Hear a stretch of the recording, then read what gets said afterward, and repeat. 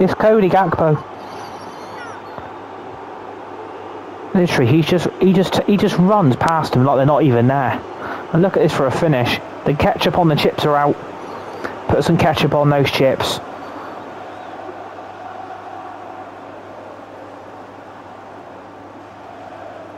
Delicate finish.